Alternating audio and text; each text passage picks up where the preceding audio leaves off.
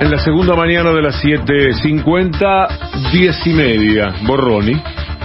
En realidad, 10 y 32. El periodismo a la manera de Fernando Borroni. Ayer lo decíamos, un 18 de mayo del 2019. Eh, nace el Frente de Todos. Cristina elige a Alberto Fernández presidente y suman a Sergio Massa. La unidad era la única salida, estaba claro en aquel entonces. La estrategia política, la definición política era ganar, había que correr a la derecha, estaba claro. Se ganó. Luego, la cabeza de la lista, Alberto Fernández, en vez de fortalecer la unidad, se creyó en algún momento que lo habían votado a él y empezó a jugar solo. Tan solo empezó a jugar que se dejaron de responder a las promesas de campaña. Esto hizo que el sector del kirchnerismo empiece a tensionar. Por ejemplo, con el acuerdo con el Fondo Monetario Internacional. Lejos, el sector de Alberto Fernández de creer que esa tensión era natural en un frente de gobierno y que debían sentarse en una mesa a definir las políticas, creyó que podía construir el albertismo sacándose de encima el kirchnerismo. Eso fue parte de la tensión política de los tres años de gobierno. En el medio de esa tensión, Sergio Massa, el Frente Renovador, que hizo, se constituyó como puente entre quillerismo y el sector que representaba Alberto Fernández. Se hizo indispensable para los dos sectores. Es un hecho de la realidad. Fue pragmático, construyó poder, construyó vínculo y asumió el rol del ministro de Economía. Todo esto, todo esto le fue dando un enorme poder político.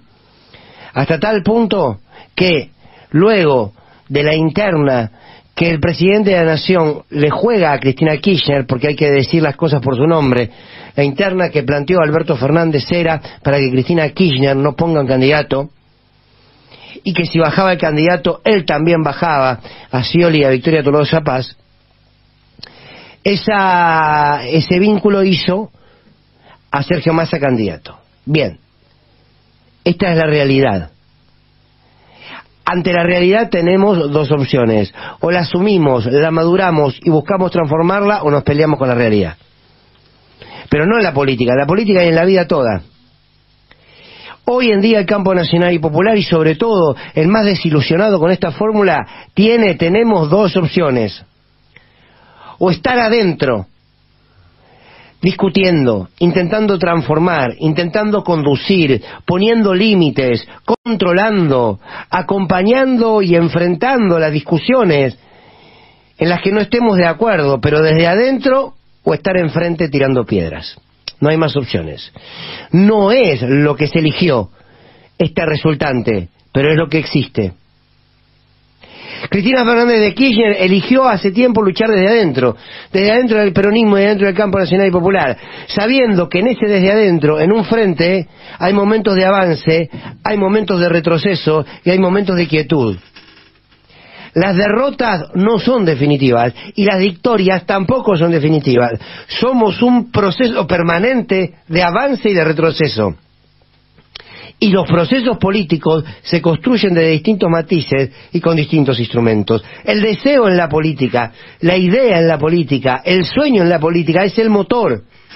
Ahora, el cómo recorro no depende siempre de la elección personal, sino de la decisión colectiva. Y en la decisión colectiva, quizás no todo sea como uno soñó. Ahora, el enemigo también juega y el enemigo también te determina, y el enemigo te limita, y el enemigo te constituye. Somos en la vida y en la política todos los sí que decimos y que hacemos realidad. Sí a tal proyecto, sí a tal persona, pero también en la vida y en la política somos todos los no que decimos.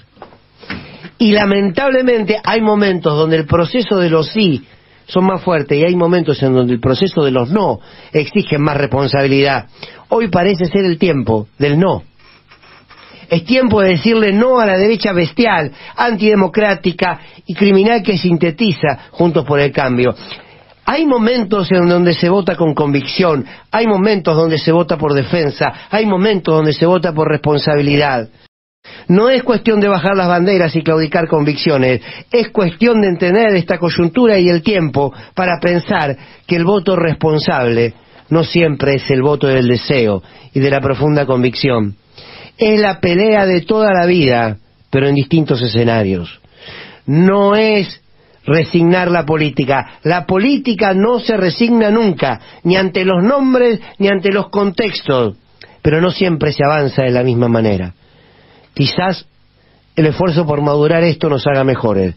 La verdad es que no tengo la más mínima idea si así va a ser, pero habrá que intentarlo. La columna de Fernando Borroni